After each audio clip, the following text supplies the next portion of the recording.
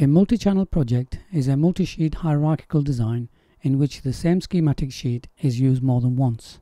For example, we have an output channel schematic which should be applied twice in this project. Let's place the sheet symbol on the top level schematic in one of the two ways to create a multi-sheet schematic. Let's adjust the size of the symbol and assign the designator as output 1.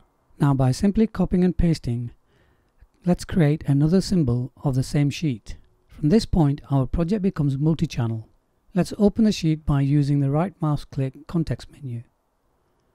At the bottom of the schematic sheet, next to the Sheet Editor tab, we see two new tabs, Output 1 and Output 2, each of which is a physical representation of the channel. Notice the components for each tab get a modified notation that indicates which channel the component belongs to. In a later video, we'll look at the settings for options for component designators. Next, we need to create channels for the input circuits of our device. We can use the same technique, placing channel by channel explicitly. However, there is another way to simplify the placement of several identical channels. We need only one sheet symbol, to which we apply a special designator.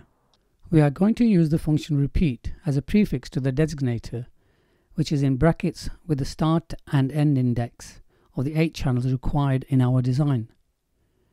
Notice how the image of the sheet symbol changes to the multi-sheet symbol. Let's go to the input schematic sheet. Looking at the tabs on the bottom left, we can see that we have created 8 input channels in our design. This greatly simplifies the automatic creation of multiple schematics. In future videos we will consider the specifics of creating connections in multi-channel projects.